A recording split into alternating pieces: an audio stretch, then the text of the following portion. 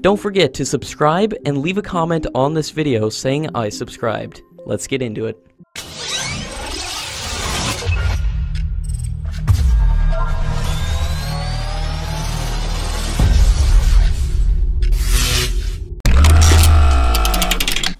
The crews of the Indian Army's T-90 tank are set to equip themselves with an apparatus that is used while crossing rivers.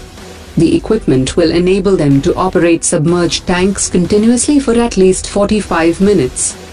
The Indian Army has an annual requirement of 2000 units of the equipment with effect from 2019 to 2020, while it will purchase a total of 6628 units of such equipment. DRDO is expected to transfer the technology to the private sector for mass production, and it will be made available to the Indian Army by 2019. The defense minister has said today that the deal to purchase S-400 systems from Russia has reached almost the final stage, and it may be signed before the visit of the Russian president to India next month. During the 2 plus 2 dialogue earlier this month, India told the US officials that it would go ahead with the deal, and have also sought waiver from the sanctions. Ahead of the Russian President Vladimir Putin's India visit next month, Russia has sought assurances from India that its American procured equipment would not be used in a way that could compromise the capabilities of Russian made systems already with the Indian military. The Russian concern comes in the wake of signing the Communications Compatibility and Security Agreement with the US. India has told Russia that it is not an umbrella agreement, and it applies only to the equipment that it procures from the US. The agreement is platform specific, and does not bind India to anything. The Union Law Minister has rejected the demand of the Congress Party for a joint parliamentary committee probe into the Rafale fighter jet deal. He also said that the inquiry cannot be set up to satisfy the ego of an ill-informed leader of the opposition party who repeats lies. He also said that the former defense minister A.K. Antony has a lot to answer, as despite being in office for a period of eight years, he kept the Hindustan Aeronautics in the waiting, and did nothing for the modernization and empowerment of Indian forces. His response came after Congress leaders met the Comptroller and Auditor General, seeking a probe into the Rafale deal, and for leaving Hindustan Aeronautics out of the offset contract and transfer of technology. The modernization of airfield infrastructure project is intended to upgrade equipment at Indian Air Force bases, which was launched to improve the capability of Indian Air Force bases.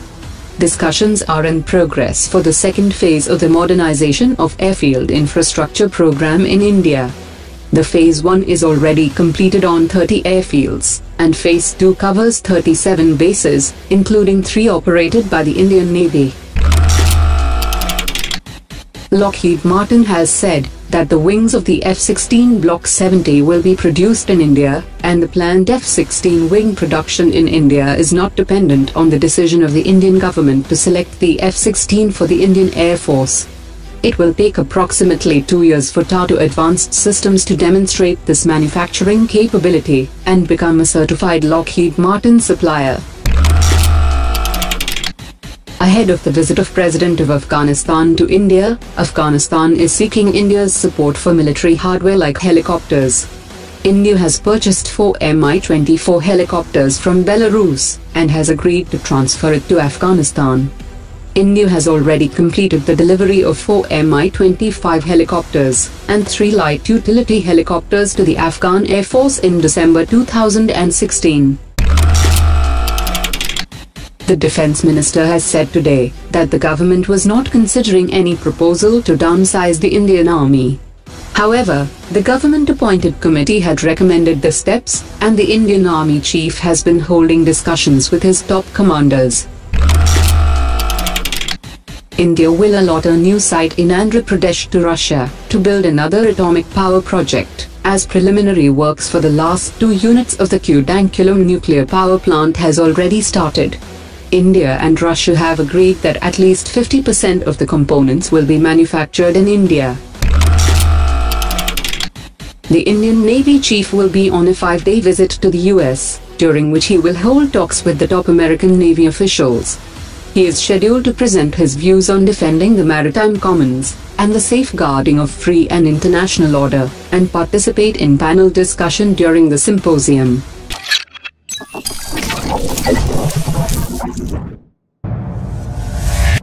Omar dropped it.